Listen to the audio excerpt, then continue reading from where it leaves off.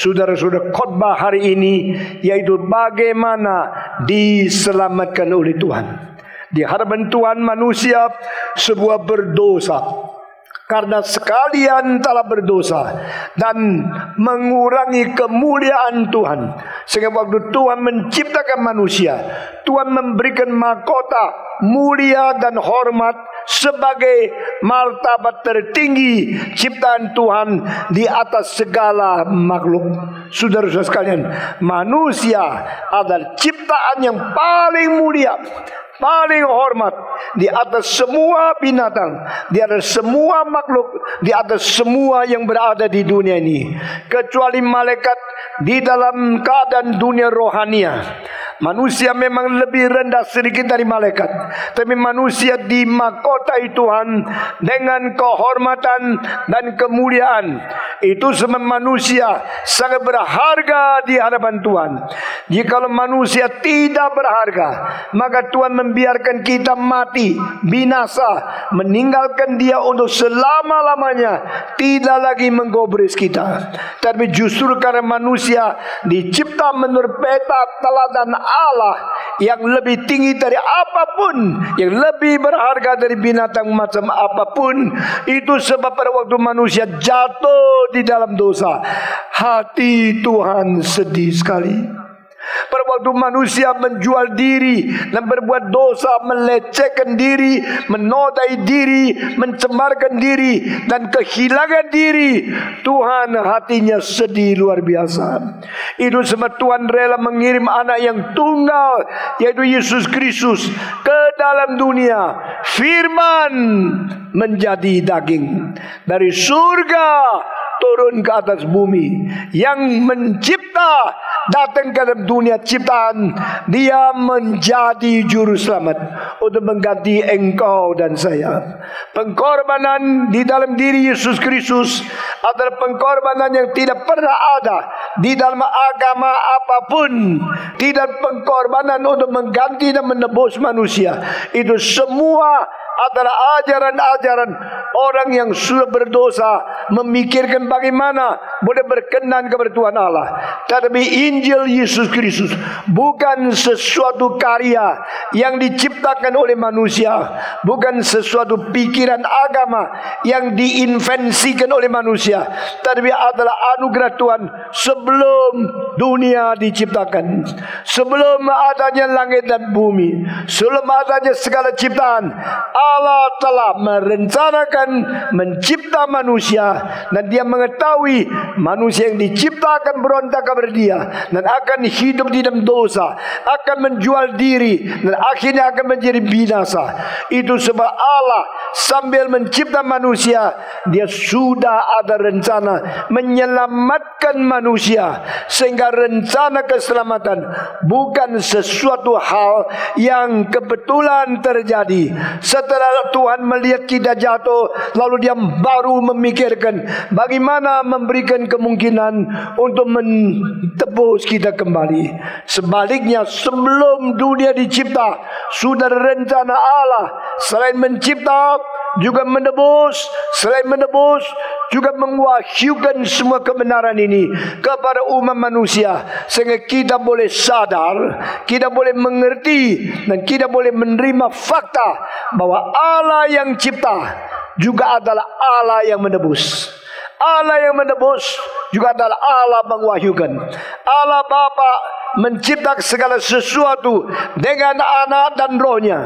Dan Allah anak menebus orang berdosa menjadi orang diselamatkan dan berdasarkan rencana Allah Bapa dan melalui kuasa Roh Kudus. Allah Roh Kudus mengwahyukan kebenaran supaya kita mengenal Yesus dan melalui Yesus kembali kepada Allah Bapa. Sehingga di dalam ketiga karya yang besar yang hanya mungkin dilakukan oleh Allah ini. Allah Bapa berbagian Allah Anak berbagian Allah Roh Kudus berbagian. Allah yang sejati adalah Allah yang esa. Dan Allah yang esa adalah Allah yang berkepribadian tiga. Allah Bapa Allah Anak Allah Roh Kudus. Allah Bapa Allah Anak Allah Roh Kudus. Tiga-tiganya berkarya di dan menciptakan alam semesta Allah Bapa, Allah Anak, Allah Roh Kudus. Tiga-tiganya bersama-sama berjasa dan bekerja sama di dalam menebus manusia. Allah Bapa, Allah Anak dan Allah Roh Kudus. Tiga-tiganya bersama-sama bekerja sama untuk mengwahyukan kebenaran kabar kita. Melalui karya ketiga baru kita mengetahui ada karya pertama dan karya kedua. Jika Allah tidak mengwahyukan, kita tak tahu dia adalah pencipta. Jika Allah tidak mengwahyukan, kita juga tidak tahu dia ada penebusan. Tapi Tuhan mau memberitahu kepada kita, maka dia mengirim Roh Kudus. Roh Kudus memberikan pengwahyuan. Roh Kudus menyatakan kebenaran Allah dengan menurunkan firman dari surga ke atas bumi. Inilah pekerjaan Roh Kudus yang penting. Sekarang orang-orang mereka mentekan ke pekerjaan Roh Kudus bukan dalam pengwahyuan dan peranakan pula, tapi mereka lebih pentingkan gejala-gejala yang kelihatan seperti karunia, seperti karunia lidah, seperti mujizat kesembuhan. Saya percaya itu di dalamnya banyak karya pekerjaan Roh Kudus, tapi pekerjaan Roh Kudus yang paling utama, pekerjaan Roh Kudus yang paling penting pertama adalah menurunkan firman dari surga ke dunia. Jika Roh Kudus tidak mengerjakan pekerjaan ini, maka dunia ini tidak ada firman, hanya ada teori-teori manusia. Teori-teori agama banyak, teori-teori filsafat banyak, teori-teori kebudayaan banyak, teori-teori sastra, teori-teori etika itu banyak sekali. Tapi semua ini lain dengan firman Allah. Firman Allah jauh lebih besar daripada teori agama, teori filsafat, teori etika, teori moral adalah rencana penebusan yang tidak ada di dalam agama. Semua agama mengajar kita berbuat baik. Semua agama berkata moral mempunyai nilai yang tinggi. Tapi agama tidak menebus. Agama hanya mengajar tapi tidak menyelamatkan. Seperti seorang jatuh di dalam laut. Lalu seorang di atas kapal berkata kepada dia. Engkau mesti berenang. Tangannya begini. Kakinya begini. Dia mengajar-mengajar. Di dalam berjam-jam dia mengajar. Orang yang tenggelam itu sudah mati, tidak dapat pengajaran apa, sudah kelelap, sudah tenggelam, sudah mati di laut. Yesus Kristus bukan datang mengajar, Yesus Kristus datang menyelamatkan manusia, mengeluarkan kita dari lumpur dosa dan mengangkat kita berdiri di atas batu karang keselamatan Tuhan. Saudara-saudara, di dalam firman mengandung keselamatan. Di dalam firman mengandung hidup. Di dalam firman mengandung pengertian dan beriman kepada rencana Allah yang mencipta, yang menebus dan mewahyukan semua kabar kita.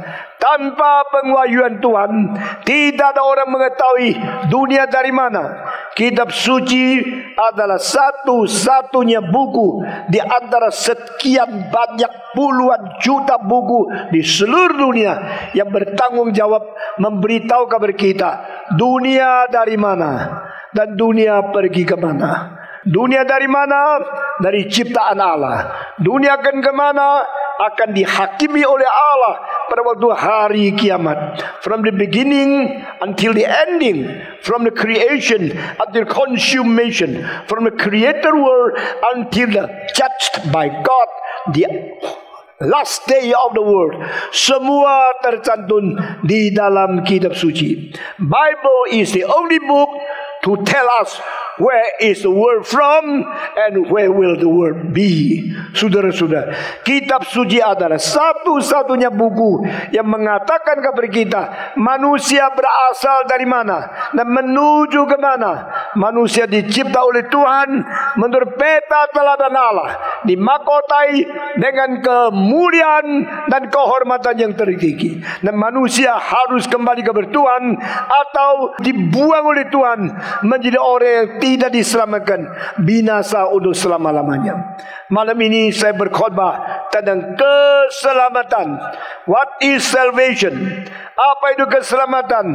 Keselamatan berarti lepas dari belenggu dosa dan mendapatkan hidup baru yang diberikan Tuhan melalui Roh Kudus yang memberitakan firman yang memperanakan kita kembali. To be saved is to be delivered from the power of sin, Satan, and darkness, and to obtain the new life according to the Spirit who gives the life of God to us and regenerate us through the Word of God in Jesus Christ. Saudara-saudara, Roh Kudus memperanakan seseorang, memberikan hidup yang baru kepada seseorang melalui kematian dan kebangkitan Yesus Kristus. Di dalam Injil kita selalu mendengar Yesus mati bagi kita, Yesus bangkit bagi kita. Apa artinya? Karena di sini adalah hal yang tidak mungkin diselesaikan atau diatasi oleh manusia.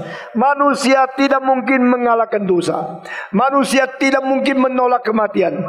Manusia tidak mungkin melawan dan mengalahkan iblis yang mempunyai kuasa membelenggu kita di dalam kematian. Yesuslah satu-satunya juru selamat yang menyelesaikan semua ini karena dia datang ke dunia untuk menghancurkan kuasa iblis. Saudara-saudara, di dalam buku dari bersatu Yohanes mengatakan the appearance of the Son of God is to destroy the power of Satan.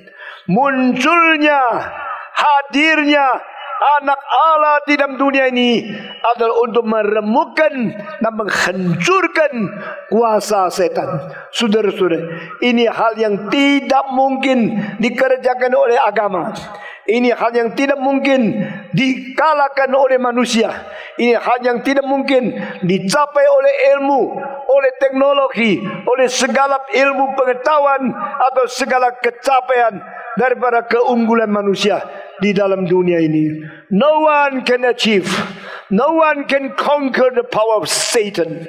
Setan telah menjadi perintang Tuhan Allah, pencoba umat manusia dan pengadu orang-orang suci. Ini tiga pekerjaan yang paling besar dari iblis. Dia menentang rencana Allah di dalam kegagalan, di dalam surga. Sehingga Tuhan mengatakan, kau setan, kau keluar dari sini. Dan iblis diusir dari tempat yang maha tinggi. Di mana dia seharusnya melayani Tuhan. Dia dicambuk turun. Dan setelah turun, dia tidak mau ke bumi. Dan dia tidak bisa di surga. Dia terkatung-katung di tengah angkasa. Saudara-saudara, setan yang tadinya adalah penghulu malaikat yang mulia, yang berkuasa, yang mempunyai hak yang begitu tinggi, berada bersemayap di hadapan takhta Tuhan, berlayang-layang, berterbang untuk menyebut suci, suci, suci, melayani Tuhan. Setelah dia merintangi kehendak Allah, maka Allah mencambuk dia turun. Setelah turun, dia akhirnya tidak bisa di surga lagi dan dia tidak mau di bumi ini. Dia berada di tengah tengah angkasa untuk tetap merintangi anugerah Tuhan dan untuk tetap merintangi doa kita sehingga anugerah Tuhan dari surga mau turun ke dunia dihambat oleh iblis. Doa orang Kristen kepada Tuhan dirintangi oleh iblis. Iblis di tengah-tengah angkasa menceraikan kita dari Tuhan Allah, menghambat Tuhan Allah kepada kita sehingga anugerah turun ke dunia dicegat oleh Dia. Doa kita kepada surga dirintangi oleh dia. Sampai ada satu orang yang menembusi sesuatu penghalangan ini dan membuka jalan yang baru. Baru ada pengharapan perdamaian antara manusia dengan Tuhan Allah. Siapa yang bisa melewati tembok ini? Siapa yang bisa menembusi halangan ini? Kecuali anak Allah yang dikirim dari surga turun ke dalam dunia. Saudara-saudara, itulah Yesus Kristus. Kenapa Yesus Kristus? Karena satu-satunya yang turun dari surga ke bumi. Yang bisa menembusi pencegatan ini. Yang bisa mengalahkan kuasa setan. Hanya Yesus Kristus. Amin. Kita bersyukur kepada Tuhan di dalam diri Yesus Kristus ada kemenangan dan kemenangan itu kemenangan yang abadi, kemenangan yang terbesar, kemenangan yang tidak bisa dilawan. Dalam nama Yesus, dalam nama Yesus ada kemenangan. Semua menjadi dengan keras dalam nama Yesus, dalam nama Yesus. Iblis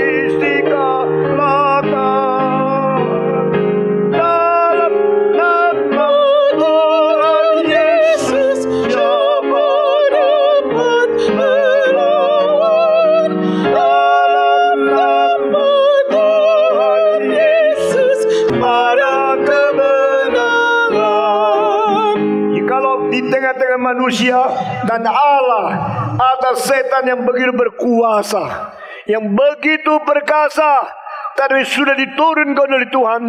Dia dengan benci, iri, dan dengan hati yang sempit, dia merintangi Tuhan, dan dia tidak senang ada manusia yang bisa diselamatkan oleh Tuhan.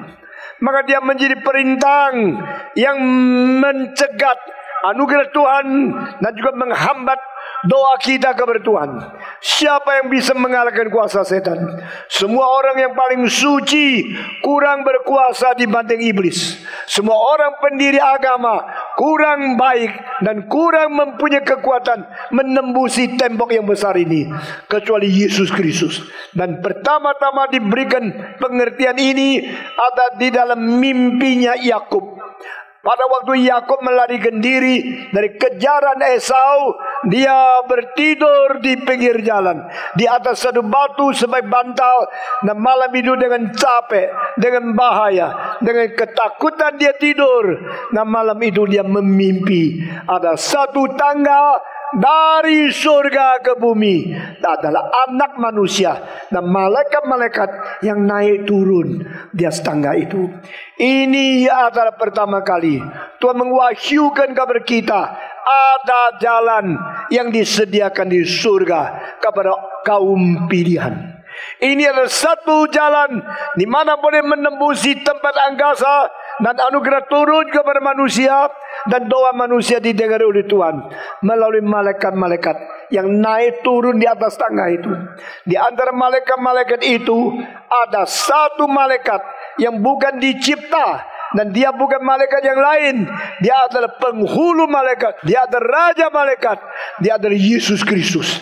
Dan saudara-saudara, ini memberikan indikasi pada waktu perjanjian baru Yesus Kristus akan turun dari surga ke bumi dan membawa doa kita kembali ke surga. Dia satu-satunya pengantara di tengah-tengah Allah yang tidak kelihatan dan manusia yang kelihatan.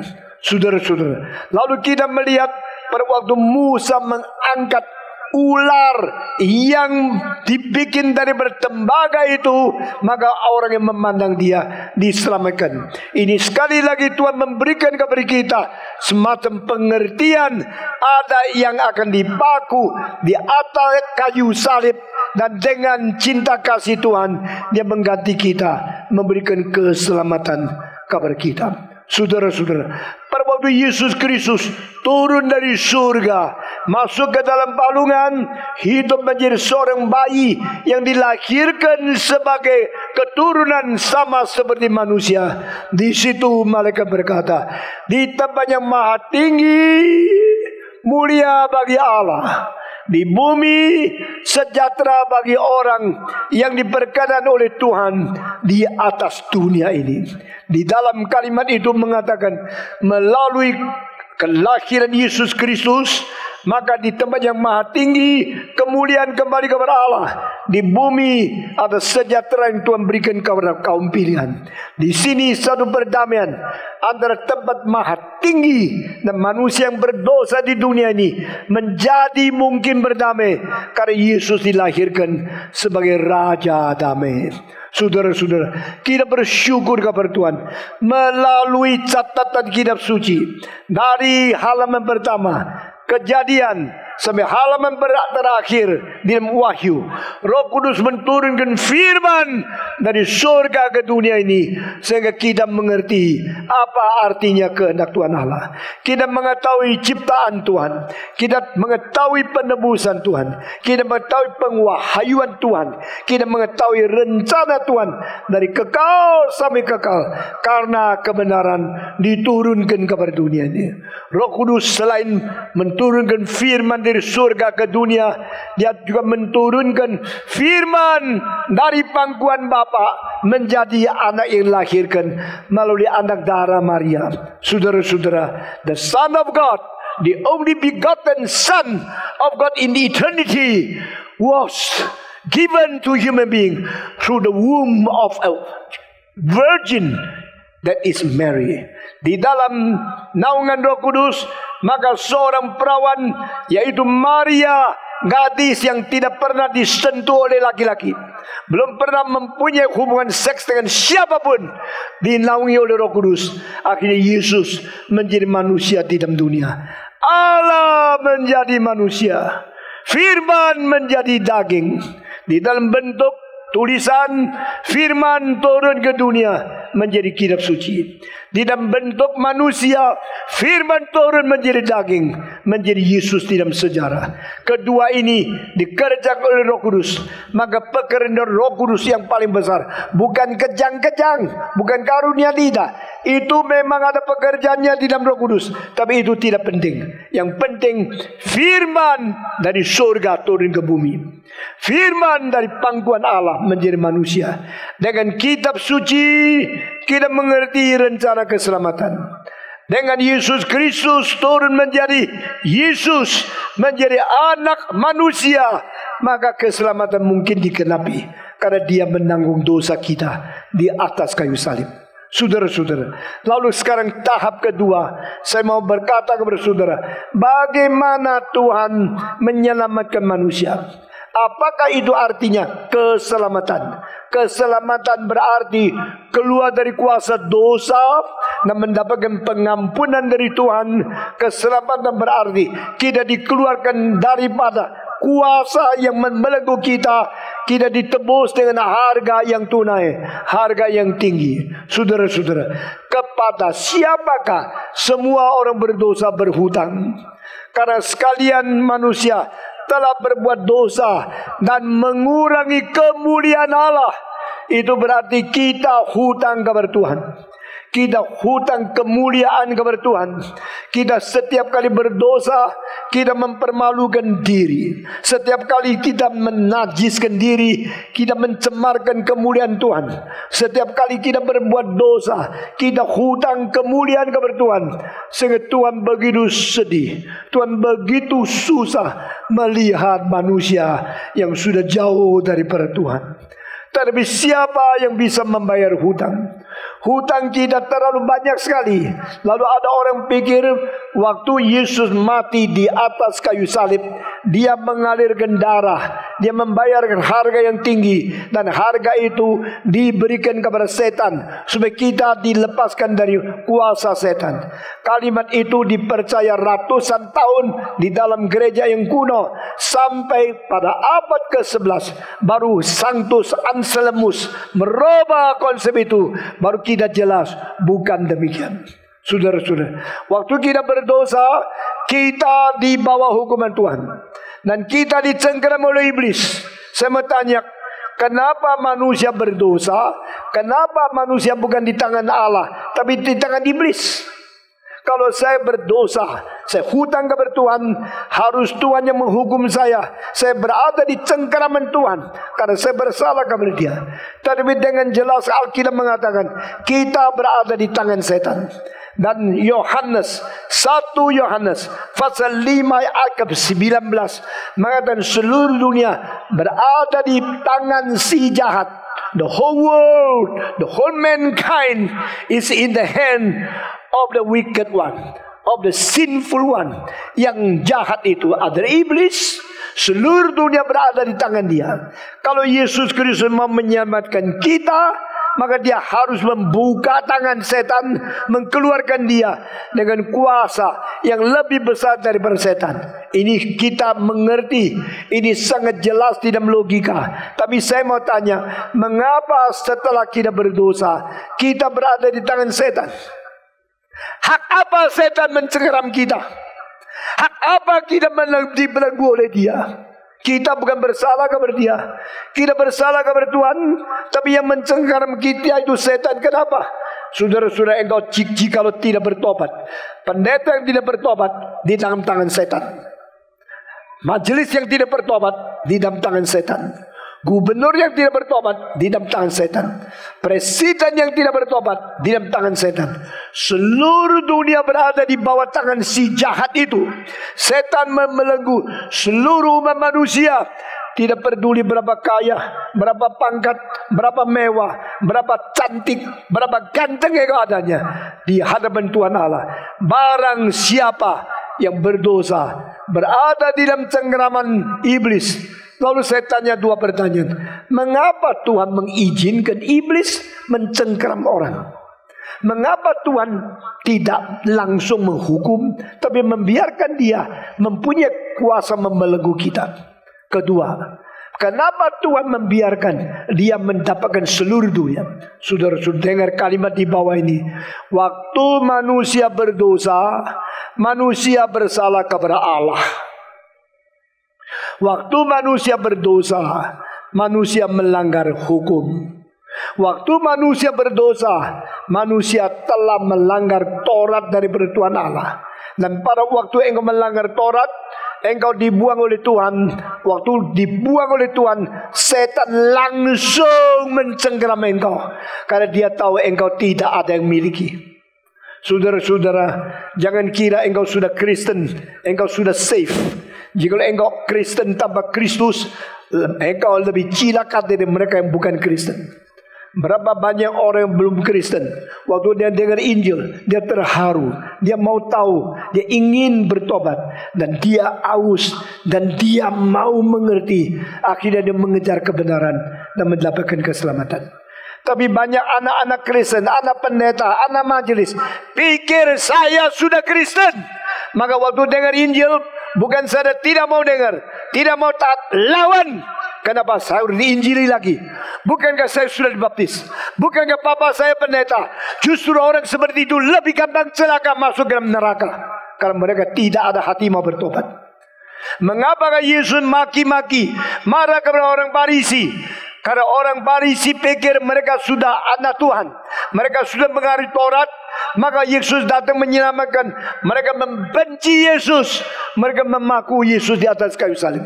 Yesus berkata, Cilakalah engkau orang Parisi yang munafik. Cilakalah engkau ahli Taurat yang pura-pura. Cilakalah engkau orang-orang yang beragama tetapi tidak mengenal Tuhan. Engkau dengan bibir mulut menyebut aku Tuhan, Tuhan. Dengan bibir engkau, engkau mencium aku. Tapi hatimu jauh daripadaku. Cilakalah engkau. Engkau yang mencium aku dengan bibir mulutmu. Tapi hatimu jauh daripadaku. Dengarlah kalimat ini. Engkau berbakti kepada aku. Cuma-cuma adanya. Useless. Tidak ada gunanya engkau menjadi orang Kristen. Jika engkau hanya mulut dekat dengan Tuhan, hati jauh dari bertuhan. Engkau megah karena engkaumu, kakekmu pendeta, papamu majelis, ibumu orang yang penting di dalam gereja. Tapi hatimu tidak pernah bertobat, tidak pernah sungguh-sungguh rendah hati menerima Tuhan Yesus. Saudara-saudara, tadi kita sudah mendengar seorang pemuda yang ikut kebaktian, ikut kebaktian doa, ikut persekutuan, ikut membaca ratusan, hafal ratusan ayat Alkitab di dalam hatinya. Tapi akhirnya dia ciri hati. Dia ingin menjadi orang dakrisen dan dia meninggalkan Tuhan. Saudara-saudara, orang yang pura-pura, orang munafik selalu bukan saja tidak mau bertobat, selalu merasa diri lebih baik dari orang lain. Itu sebab Yesus Kristus berkata, Aku datang bukan mencari orang benar. Sebenarnya itu bukan orang benar. Orang yang menganggap diri sudah cukup baik. Orang menganggap diri sudah beragama. Sudah bertuhan. Sudah beribadah. Sudah datang bisa memuji. Bisa menyanyi di kur. Bisa menjadi majelis. Kira sendiri sudah baik. Aku bukan datang mencari orang benar. Aku datang mencari orang berdosa. Supaya bertobat. Cilakalah engkau yang menganggap diri sudah baik dan tidak mau bertobat. Engkau jauh dari Tuhan. Cilakalah mereka yang pakai bibir mulutnya mencium Yesus. Tapi hatinya jauh daripada Tuhan. Saudara-saudara, Yesus datang ke dalam dunia bukan mencari orang yang menganggap diri sudah cukup baik, tapi mencari mereka yang merasa diri berdosa. Seperti orang pemubuk cukai yang berdoa, Allah kasihakanlah aku karena aku orang berdosa. Tuhan berkata orang ini waktu pulang dibenarkan oleh Tuhan lebih dari orang Parisi yang berkata, Ya Allah, aku bersyukur kepadamu karena aku lebih baik dari orang lain. Aku bersyukur kepadamu. Aku tidak seperti pemubut cukai. Aku tidak seperti pelacur. Aku memberikan puluhan kepadamu. Aku memberikan perpuluhan mendukung pekerjaanmu. Aku berpuasa satu minggu dua kali. Aku tidak menipu uang. Aku tidak berzina. Aku lebih baik dari orang lain. Tuhan mengatakan orang Parisi ini sedang berbicara kepada diri sendiri. Maksudnya Tuhan tidak terima doa dia. Saudara-saudara, siapakah yang diselamatkan oleh Tuhan? Manusia berdosa. Bagaimana diselamatkan? Dilepas dari tangan setan. Kenapa di tangan setan? Karena setelah engkau meninggalkan Tuhan, engkau melanggar hukum Tuhan, engkau berbuat dosa dan engkau tidak cari Tuhan, Tuhan membuang engkau yang sombong dan setan langsung membelenggu engkau. Lalu engkau menjadi orang di dalam tangan setan, menganggap diri orang Kristen. Sudah di dalam tangan iblis, merasa diri sudah pernah dibaptiskan. Lalu engkau sombong, engkau menipu diri, engkau mempunyai satu keadaan yang paling bahaya yaitu di dalam bahaya tapi tidak sadar bahaya. Kemarin malam di Amurang saya berberi khutbah dengan judul Siapakah orang yang paling bahaya? Orang yang paling bahaya adalah orang yang berada di bahaya tapi tidak sadar dia berada di dalam bahaya. Orang yang sakit paling menakutkan yaitu mempunyai sakit yang paling keras tapi dia tidak sadar dia sakit. Betapa orang mendadak mati. Karena apa? Karena jantung sudah hampir buntu. Tapi tidak ada simptom. Tidak ada gejala. Masih berjalan seperti biasa. Seorang kenalan saya. Seorang rekan profesor teologi. Yang mengajar apologetika orang terkenal seluruh dunia. Barusan saya dengar di Hong Kong. Dia kurang sedikit mati. Waktu dia naik kapal terbang mau pulang ke Amerika, mendadak dia berkata, saya sakit di jantung gua perasaan chest pain. Bolehkah saya minta ditolong sebentar? Keringat terus keluar, debat dan jatuh hidup begitu keras. Langsung seorang dokter datang melihat kepada dia dan mengatakan segera turun dari kapal terbang. Karena sekarang di dalam dua menit kalau terbang ini sudah akan pergi. Waktu engkau tidak turun, engkau ikut pergi. Di dalam lima menit, engkau mati di dalam penerbangan ini. Dan cepat-cepat digotong turun. Waktu digotong turun, masuk rumah sakit. Waktu dilihat, dia punya arteri yang di atas 100% buntu. Saudara-saudara, yang lain sudah 90%. Ada satu yang 100% buntu. Darah tidak bisa lewat.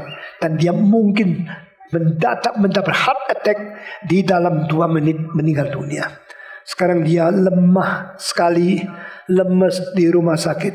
Sedang di bypass, sedang dikerjakan segala yang dibutuhkan. Saudara-saudara, jika engkau berada di tangan iblis, dan engkau tidak sadar yang cengkeram engkau adalah iblis. Engkau bahaya luar biasa.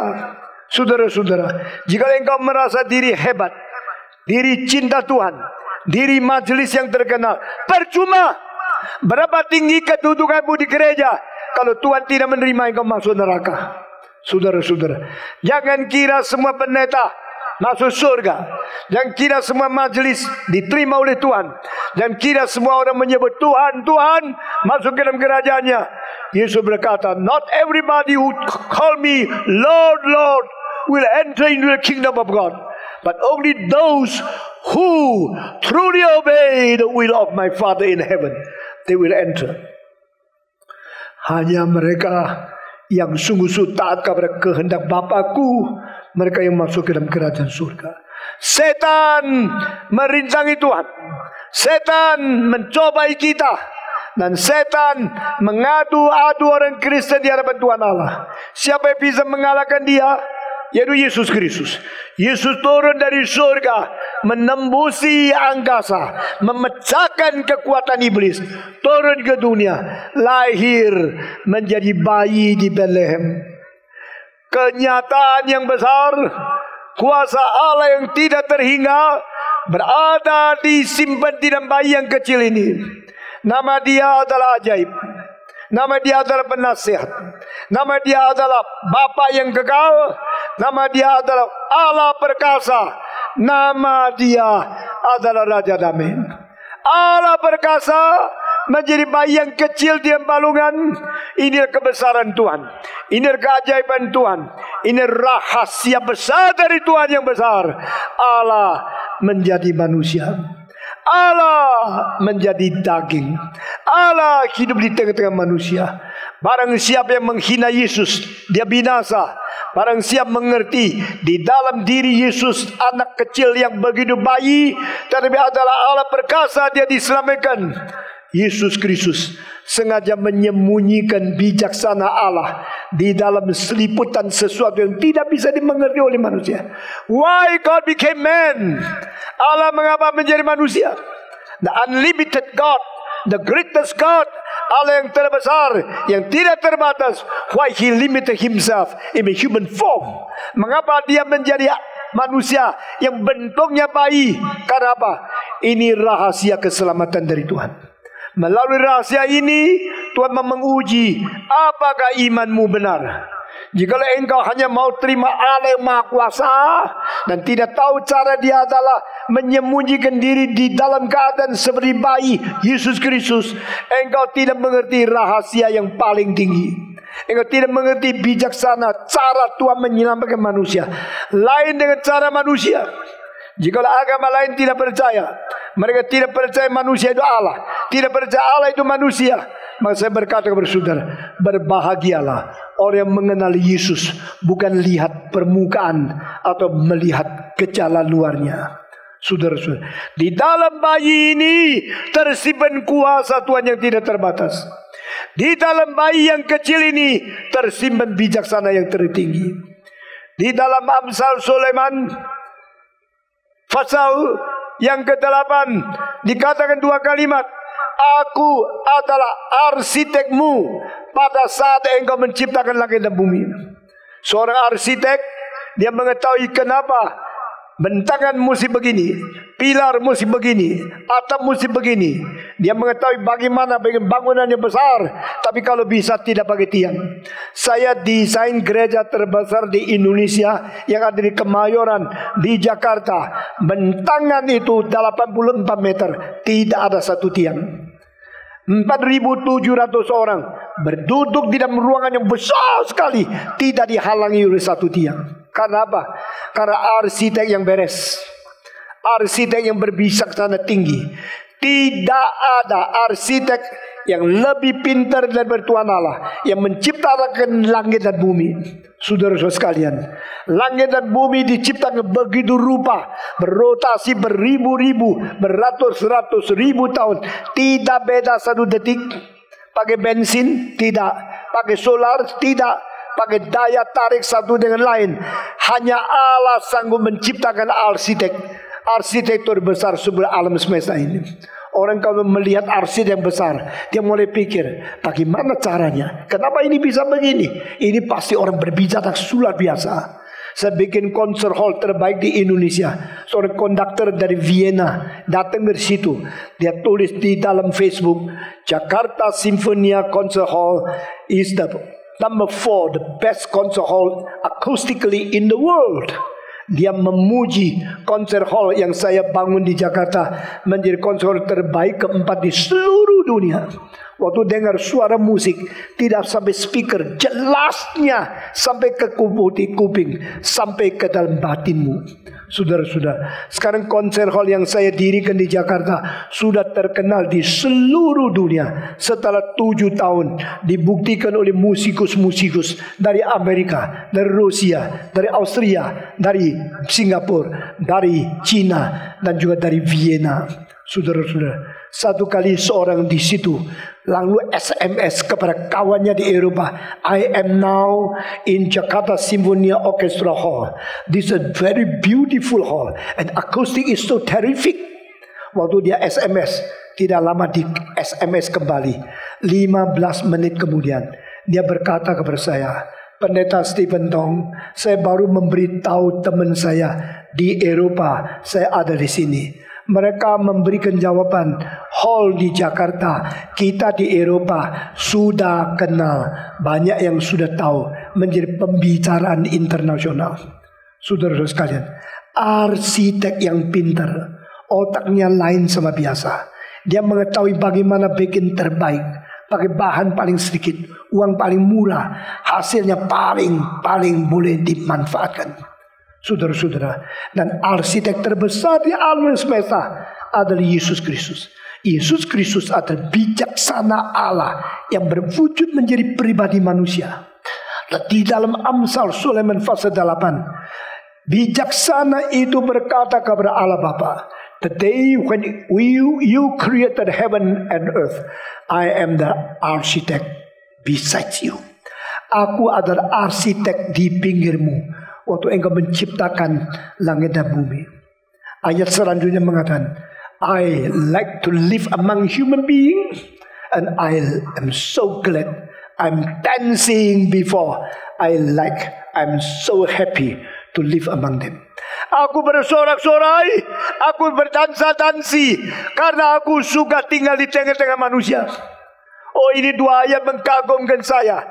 Arsitek alam semesta yang menciptakan langit dan bumi adalah Yesus Kristus yang suka lahir di dunia. Hidup bersama-sama engkau dan saya. Kita bersyukur kepada Tuhan.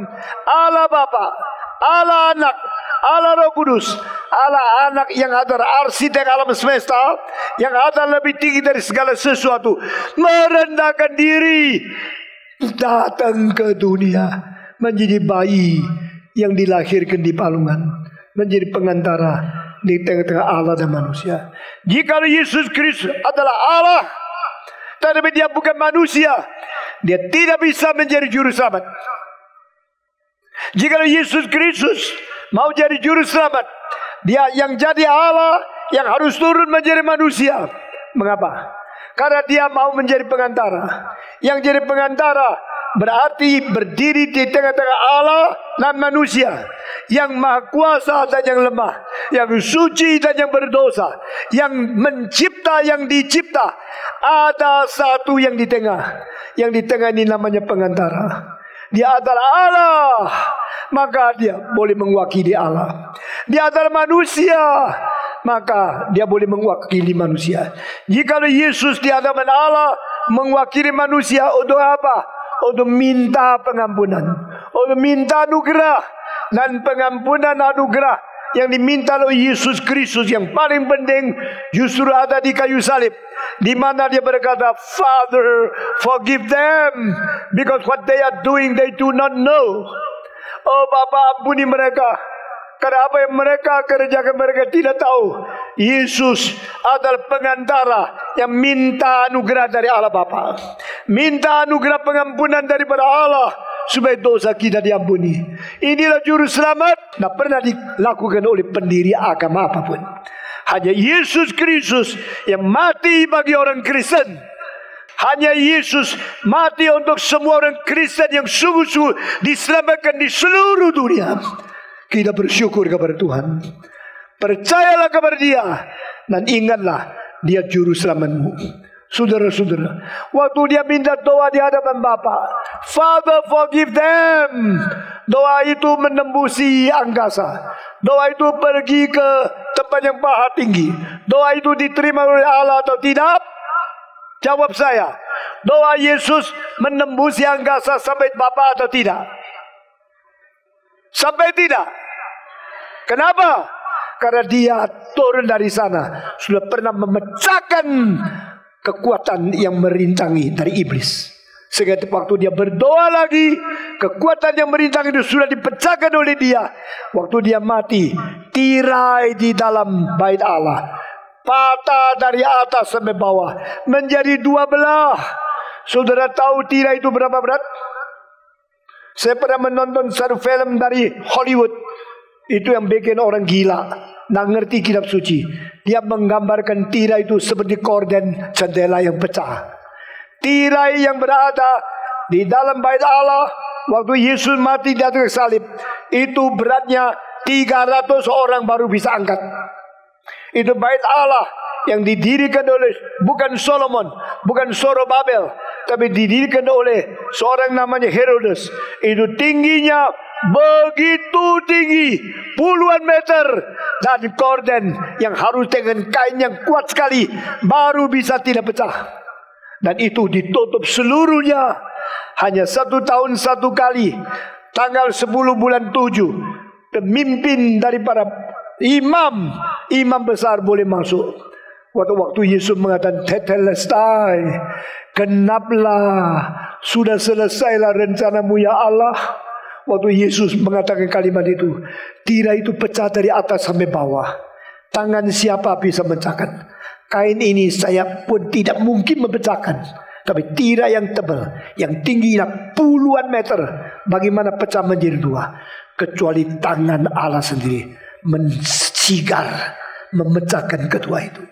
Tidak ada orang bisa melakukan. Pecahnya tirai itu mewakili tubuh Kristus yang dipecahkan. Waktu Yesus berkata, inilah tubuhku yang kupecahkan bagimu. Engkau lakukan ini sentiasa untuk mengingat aku. Ini adalah tirai yang paling berat, yang paling besar. Hanya 300 orang baru bisa mempasang tirai itu di atas tempat yang begitu tinggi. Tuhan memecahkan. Ini mewakili Kristus dibunuh, memecahkan tubuhnya bagi kita.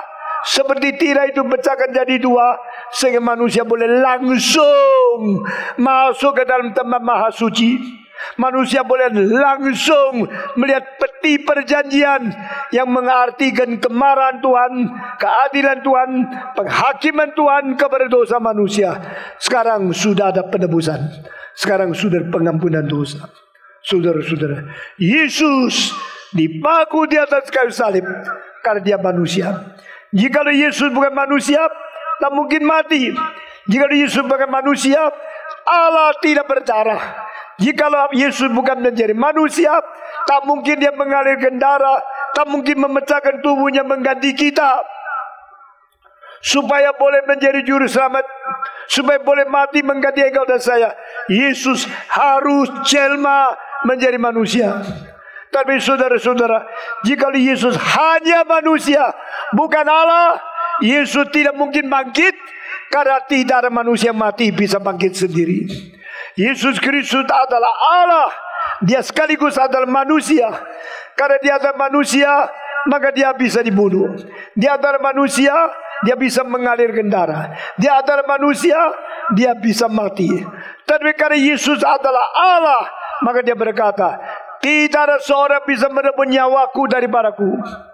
Tetapi jika aku dengan kemauanku sendiri, aku rela menyerahkan nyawaku, maka aku berhak mengambil nyawaku kembali kepadaku lagi. Itu sebab Yesus bangkit.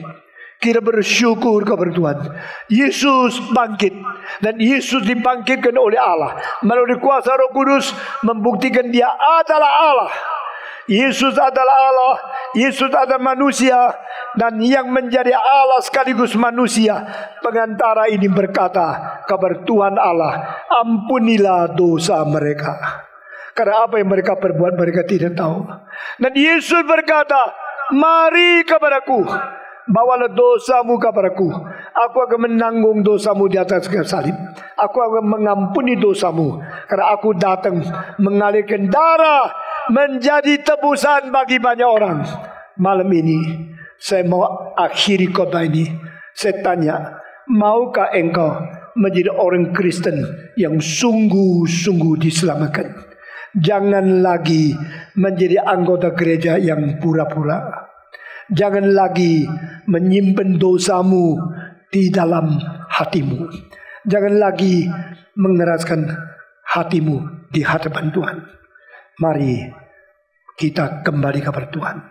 Barang siapa yang berkata Tuhan, saya sangat sadar dan malam ini saya sangat digerakkan oleh Tuhan.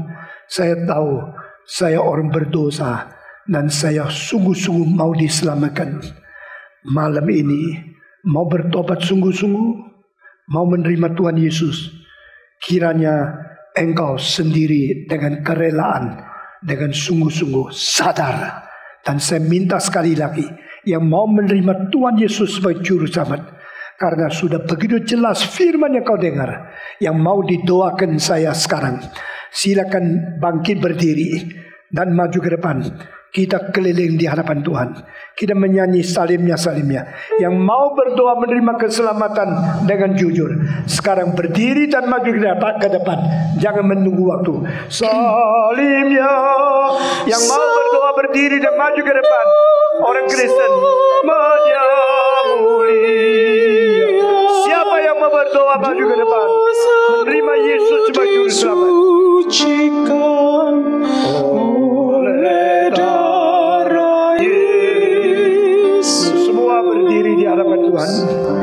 Semua berdiri di hadapan Tuhan. Yang di belakang semua berdiri. Dan sekarang saya memberikan kesempatan di luar panggilan. Siapa yang berkata, hari ini saya sangat terharu. Dan hari ini saya disadarkan, saya orang berdosa yang saya harus binasa. Tetapi saya mau menerima Yesus sebagai juru selamat. Yang belum sempat maju ke depan, engkau juga ingin didoakan dari mimbar engkau hanya angkat tangan. Siapa yang berkata saya menerima Tuhan Yesus sebagai juru selamat hari ini? Angkat tangan saudara. Siapa lagi? Ada lagi. Ada lagi. Yang di belakang. Yang belum sempat maju ke depan. Tuhan melihat tanganmu. Dan Tuhan mau engkau menjadi orang Kristen yang sejati. Karena tidak ada satu kalimat yang dikotbahkan kepada saudara dengan bergurau atau main-main. Malam ini setiap kalimat yang penting sudah dibicarakan ke dalam telingamu dan saya harap masuk ke dalam hatimu. Sebenarnya hari ini saya badannya sangat lemah. Tadi naik di kapal saya muntah-muntah, saya mabuk-mabuk. Tapi saya minta Tuhan kasih kekuatan karena saya tidak tahu kapan saya akan kembali ke Sangir satu kali lagi. Saya dengar bupati akan membuat lapangan kapal terbang tahun depan. Kalau itu terjadi, mungkin satu kali lagi saya datang ke Sangir. Saudara-saudara, dan kalau tidak, ini malam kali terakhir saya bertemu dengan orang Kristen di sini. Mari kita masuk di dalam doa. Saya minta Bapak Timothy pimpin kita di dalam doa Bapa kami di surga, malam hari ini kami datang ke hadapanmu. Kami mengucap syukur engkau adalah juru selamat dan sebagai perantara yang menebus dosa-dosa kita. Kami orang-orang berdosa yang telah putus hubungan dengan Tuhan Allah. Tetapi engkau datang ke dunia mengasihi kami dan menebus kami. Tuhan terima kasih atas penebusan. Biarlah kami menjadi orang Kristen di atas penebusan ini yang setia. Berikan kekuatan kepada kami di kota Siau, di Kabupaten Siau, sehingga kami bisa menjadi orang-orang Kristen yang bersaksi memuliakan namamu. Tolonglah setiap kami, kami berdoa untuk mereka yang mengambil keputusan untuk menjadi hamba Tuhan. Oh Tuhan, berikan kekuatan kepada kami, berikan kekuatan kepada kita semua, supaya kami bisa setia untuk melayani Engkau. Terima kasih Tuhan, dalam nama Tuhan Yesus kami berdoa. Amin. Amin.